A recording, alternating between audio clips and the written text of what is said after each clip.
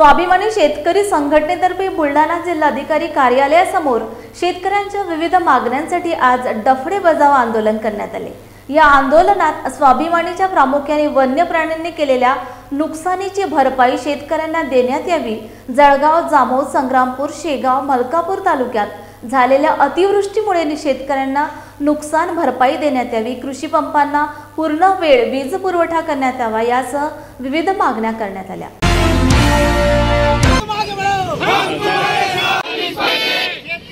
शेतकऱ्यांना दिवसा लाईन वन्य प्राण्यापासून नुकसान झालेल्या शेतकऱ्यांना तात्काळ मदत. कोण मदत देणार नाही? कोण मदत आज स्वाभिमानी शेतकरी संघटनेच्या वतीने बुलढाणा जिल्हाधिकारी कार्यालयावर डफडेबाजी आंदोलन करण्यात आलं.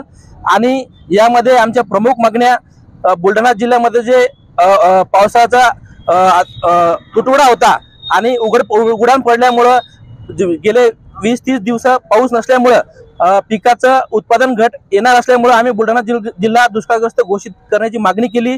त्याचप्रमाणे शेतकऱ्यांना पूर्ण वेळ वीज मिळावी अशी मागणी केलेली आहे. त्या पुन्हा त्याचप्रमाणे वन्य प्राण्यापासून संरक्षणासाठी तार कुंपण मिळावं तसेच वन्य प्राण्यांच्या नुकसानीची भरपाई ही तात्काळ शेतकऱ्याच्या खात्यात जमा करावी तसेच दोन हजार एकवीसची व दोन हजार बावीस तेवीसची मदत अजून सुद्धा बऱ्याच शेतकऱ्यांच्या खात्यात मिळाली नाही. ती मदत शंभर टक्के शेतकऱ्याच्या खात्यात तात्काळ दिली पाहिजे आणि शासनानं जे केवायसीचं धोरण अवलंबन केलं ते धोरण सध्या बंद असून शेतकऱ्यांचे त्याच्यामध्ये हाल होत आहेत. आणि सध्या शेतकऱ्यांची केवायसी होत नसून तात्काळ केवायसी करण्यासाठी शासनानं उपाययोजना केल्या पाहिजे अशा आमच्या आज प्रमुख मागण्या आहेत.